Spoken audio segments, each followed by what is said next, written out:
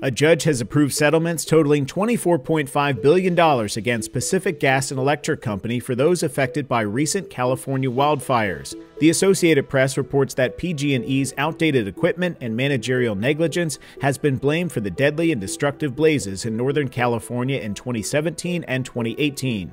According to the AP, lawyers representing uninsured and underinsured wildfire victims originally sought $36 billion in damages in January, with PG&E agreeing to a $13.5 billion payout. Insurance companies representing homeowners and businesses wanted the company to pay around $20 billion, but have settled for $11 billion. U.S. bankruptcy judge Dennis Montali approved the two separate settlements against the energy company, totaling $24.5 billion. According to Reuters, the settlement will be made up of cash and stock in PG&E.